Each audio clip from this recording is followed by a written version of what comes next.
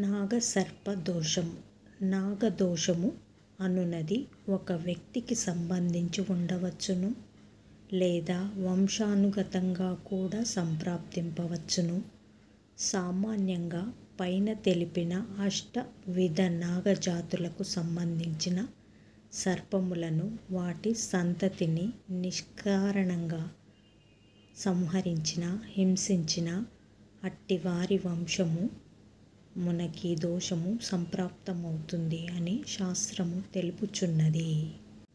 సర్పజాతికి ప్రత్యక్షముగా అపకారము చేయుటయే కాక పరోక్షంగా కూడా హాని తలపెట్టకూడదు అని నివసి అవి నివసించు స్థలములను భగ్నము చేయుట వాటిని హింసించుటకు కావలసిన సాధన సంపత్తి అందజేయుట హింసలో పాలు పంచుకొనుట.